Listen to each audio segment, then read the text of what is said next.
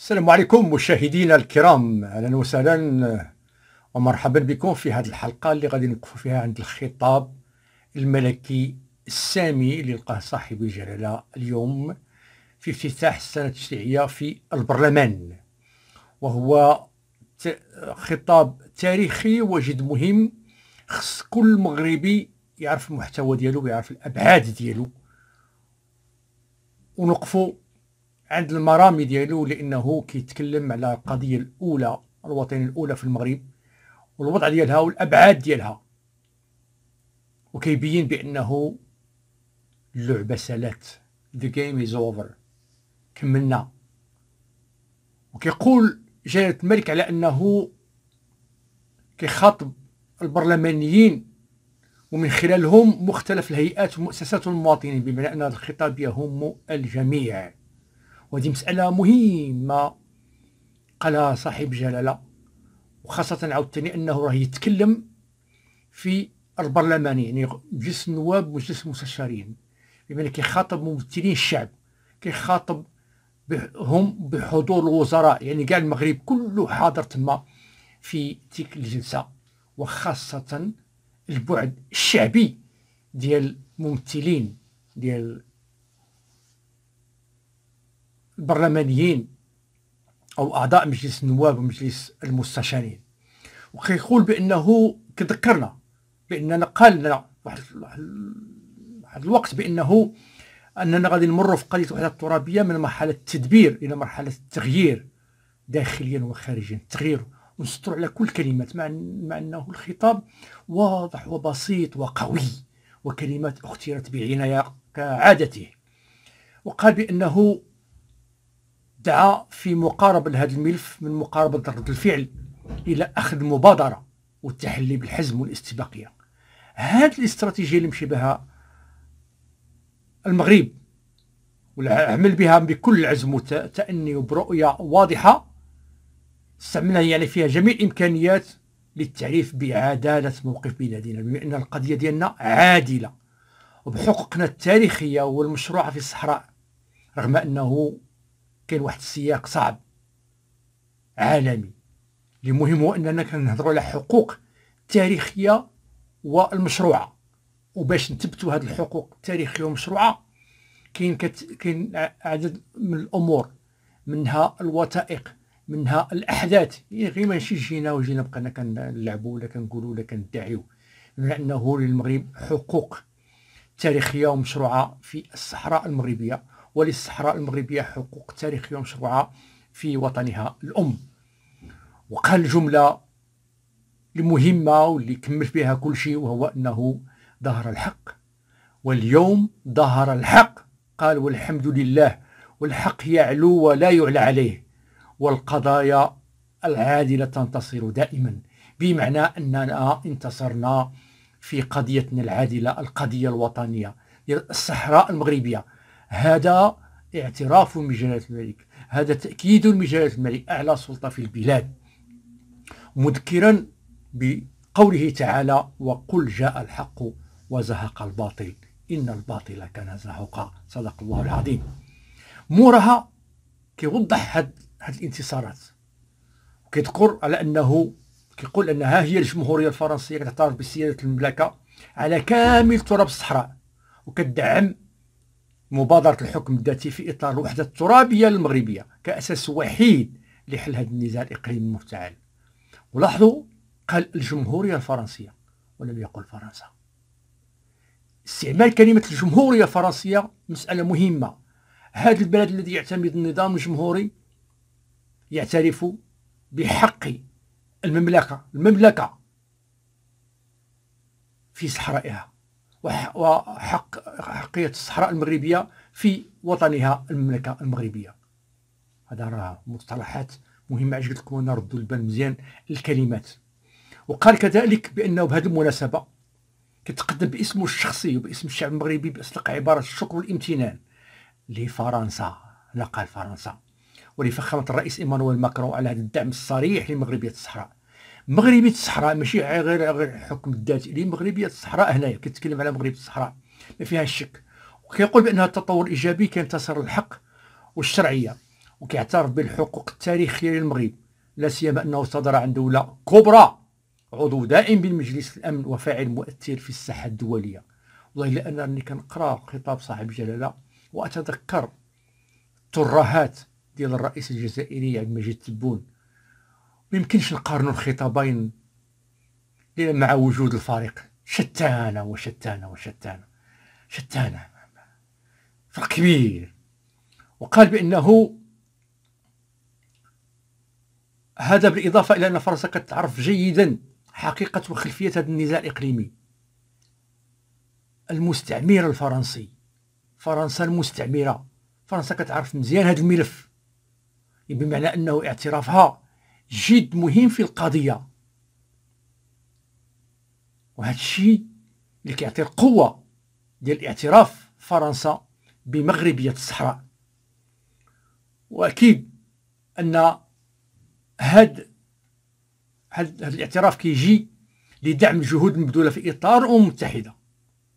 ماشي الاتحاد الإفريقي الأمم المتحدة لإرساء أسس مسار سياسي. يفضي إلى حل نهائي لهذه القضية في إطار السيادة المغربية. وزيد كياكدها جلالة الملك ما كنهضروش هنا على مفاوضات مباشرة ولا استفتاء اللي كيدعوا به كبرانات الجزائر. هذاك الخطاب مشى وكملناه وفضيناه الآن الامم المتحدة مكلفة بالملف حصريا وتدفع بحل سياسي. كيقول كذلك على ان هذا الخطاب الفرنسي أو هذا الموقف الفرنسي كيندرج في إطار الدينامية الجديدة اللي كتعرفها مسألة الصحراء المغربية. وكترتكز على ترسيخ سيادة المغرب على ترابه على توسيع الدعم لمبادرة الحكم الذاتي. إحنا غننتقلوا من المغربيه الصحراء إلى مبادرة الحكم الذاتي غيتكلم عليها. وهكذا تمكنا والحمد لله من كسب اعتراف دول وازنة ودائمة العضوية في مجلس الأمن الولايات المتحدة الأمريكية. وفرنسا هي اللي كيعطيها القيمة ديالها والقيمه ديال الاعترافات ديالها. وكنعتزوا كذلك بمواقف الدول العربية والإفريقية الشقيقة اللي كتساند بكل وضوح والتزام الوحده الترابيه للمملكه لا سيما لا سيما الدول اللي فتحات قنصلية ديالها في العيون والداخلة. وموازاة مع هذا كتحظى مبادرة الحكم الذاتي هو يتكلم على الحكم الذاتي اللي كيتكلم على مغرب الصحراء الآن كيتكلم على مبادرة الحكم الذاتي وهو مرتبطين. كأساس وحيد للتوصل إلى حل نهائي لهذا النزاع بما كنضربوا في الصفر وكنضربوا كف كما كيقولها الجزائريين. الترهات ديال الكابرانات لك المفاوضات المباشره والاستفتاء. اذا حل نزاعي حل نهائي لهذا النزاع في إطار سيادة المغرب بدعم واسع من طرف عدد متزايد من الدول من مختلف جهات العالم بمعنى أنه الرقم مازال كيتزايد. وهذا الشيء راه كان اكدوا وزاد اكدوا في الامم المتحده عمر هلال نذكروا في واحد الحلقة يتكلم عن هذا الشيء هذا. بمعنى أنه المغرب ينسجم مع تصريحاته. وهنا كيذكر إسبانيا الصديقة سماها الصديقة اللي كتعرف خبايا هذا الملف لأن كانت هي المستعمرة للصحراء المغربية. خبايا الملف بما يحمله موقفها من دلالات سياسية وتاريخية عميقة إضافة إلى أغلبية دول الاتحاد الأوروبي. وهنا إشارة لجلالة الملك إلى موقف دول الاتحاد الأوروبي وخاصة كرد على محكمة العدل الأوروبية اللي كان القرار ديالها أو الحكم ديالها مجانب للصواب فيما يخص الصيد البحري. وهنا ما كينساش جلالة الملك أنه يتقدم لهذه الأصدقاء كاملين الشركاء ببالغ التقدير مواقفهم مناصرة لقضية المغرب الأولى بمعنى أنه هنا كنلمسوا ماشي كنلمسوا كنتاكدوا من خطاب النبلاء عكس خطاب خطاب قطاع الطريق اللي كيمثلوا عبد المجيد تبون. وهنا كنشكر كذلك كل الدول كتعامل اقتصاديا واستثماريا مع الأقاليم الجنوبية للمملكه كجزء لا يتجزأ من التراب الوطني. بمعنى هنا زاد الإشارة الكبيرة إلى محكمة العدل الأوروبية.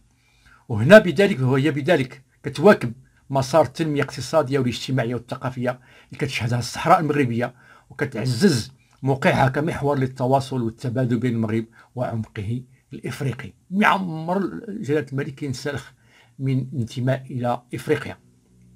وكذلك توضع في صلب مبادرة القرية الاستراتيجية اللي تلقاها جلالة الملك كمشروع أنبوب الغاز المغرب نيجيريا. ومبادرة الدول الإفريقية الأطلسية إضافة إلى مبادرة تمكين دول الساحل من الولوج إلى المحيط الأطلسي. بما أن جلالة الملك كيرسم لنا واحد خارطة الطريق. خارطة التنمية والتعامل مع الآخر بمنطق رابح رابح والاعتراف بالآخر واعتراف بالشراكة من أجل تحقيق واحد. التنمية في إفريقيا يعني ما يكونش شيء على حساب شيء. وفي هذا الإطار قال رغم أنه كل ما تحقق فإن المرحلة المقبلة كتطلب من الجميع المزيد من التعبئة واليقظة لمواصلة تعزيز موقف بلادنا والتعريف بعدالة قضيتنا والتصدي لمناورة الخصوم. وهذه المسألة كان سبق جلالة الملك تكلم عليها ودائما كنت كنعاود لها أنا هي قضية التعبئة واليقظة. هذه الكلمات راه جد مهمة التعبئة واليقظة. وهنا غادي يجي الدور ديال الفعاليات المغربية سواء المجتمع المدني سواء المنتخبين في جميع المجالس أو جميع الهيئات. هنا كيقول في هذا الإطار يجب شرح أسس الموقف المغربي للدول القليلة التي ما زالت تسير ضد منطق منطق الحق والتاريخ. إذا شوف رجعت للكلمات دائما كيهضر الحق والتاريخ. الحق والتاريخ. والعمل على إقناعها بالحجج والأدلة القانونية والسياسية والتاريخية والروحية اللي كتأكد شرعية مغربية الصحراء والروحية. إذا نشوف الكلمات كلها مختارة بشكل دقيق الأدلة القانونية والسياسية والتاريخية والروحية بمعنى أنه ما كنتبعوش الأسلوب ديال الخرطي والخرطي أو الأسلوب ديال الضغط ولكن الأسلوب ديال الإقناع وهذا الشيء كيقتضي مناش؟ من تضافر يقتضي واحد تضافر جهود بين كل المؤسسات والهيئات الوطنية الرسمية والحزبية والمدنية وتعزيز التنسيق بينها بينها بما يضفي النجاعة اللازمة على أدائها وتحركاتها. وهنا كيقول لا يخفى عليكم عشر البرلمانيين دور فاعل الدبلوماسية الحزبية والبرلمانية في كسب المزيد من الاعتراف بالمغرب الصحراء وهذا هنا جلالة الملك يوضع الاصبع ديالو واحد المسألة اللي دائما كنتيرها وكنتيروها وهي دور الأحزاب. بمعنى أنه هذه القضية ديال الصحراء المغربية ماشي قضية القصر أو قضية الملك وحده هذه قضية ديال الشعب المغربي. علاش كنقول هنا؟ هذا جلالة الملك يوضع الموضوع في سياقه الطبيعي لأنه هذا الموضوع تناولوه في في البرلمان بوجود جلالة الملك بوجود الحكومة المغربية بوجود جميع المؤسسات بوجود النواب آه، في مجلس النواب أو في مجلس أو مجلس المستشارين وفعاليات بمعنى أنه المغرب كله حاضر بين هذه القضية قضية ديال المغرب. وكل شيء خصو يساهم. وهناك تطرح المساله ديال الأحزاب اللي خصها تتحرك. وخاصة كاين عندنا أحزاب عندها انتماءات مختلفة. كاين اليمين كاين الوسط كاين اليسار. خصهم يتحركوا مع الدول الأخرى ومع الاحزاب في الدول الصديقة المعنيه بالأمر خاصة اللي مازال ما اقتنعينش لابد خص يدار واحد المجهود وخص كما كنشوفوا حنايا في خصوم حداتنا الترابية ما كيخليو حتى شي بلاصة ما كيمشيو ليهاش. غير مؤخرا كون هذه المسألة ذكرتها هي ديال الأمم المتحدة فاش كيدفعوا دوك الفاعلين ديك فعاليات المجتمع المدني بين مزوجتين باش كيتكلموا باش يظهروا على الترهات وكيحاولوا يسيئوا للمملكة المغربية قضيتنا العادلة. فلا بد كذلك ان فعلا المغرب والدبلوماسية ديالنا قوية في هذا المجال وغاديه في هذا المسار هذا ولكن لا بد من تقويته بالعمل الحزبي بالعمل البرلماني وهذا دور ديال كل مغربي كل مغربي في متواجد يخصو يعتبر نفسه بأنه سفير. المملكة المغربية سفير القضية الوطنية الأولى. وخصو يدافع على مصالح العليا ديال البلاد. وهنا نوقف عند دور المؤثرين. الإخوان المؤثرين في مواقع التواصل الاجتماعي الله يعطيهم الصحة بعدا. كنحييهم ونرفع لهم القبعة المجهود اللي كيديروه. وهنا خاص عتني يزيدوا في إطار التعبئة واليقظة. وخاص المغاربة كاملين يدعموهم. يدعموا لهم القنوات ديالهم. يدعموا لهم الصفحات ديالهم. بالاشتراك باللايك بالبارطاج بكل شيء. لابد من دعمهم. لأن هذه هذا المعركة كنخوضوها آه كاملين. اذا كيقول جلاله الملك لا يخفى عليكم معشر البرلمانيين الدور الفاعل للدبلوماسية الحزبية والبرلمانية في كسب المزيد من الاعتراف بالمغرب الصحراء وتوسيع الدعم لمبادرة الحكم الذاتي كحل وحيد لهذا النزاع الإقليمي. ولهذا كيدعو إلى المزيد من التنسيق بين مجلسي البرلمان بهذا الخصوص ووضع هياكل داخلية ملائمة بموارد بشرية مؤهلة مع اعتماد معايير الكفاءة والاختصاص في اختيار الوفود سواء في اللقاءات الثنائية أو في المحافل الجهوية والدولية. اختيار الوفود بمعنى اختيار الفعاليات اللي غادي يحققوا نتائج.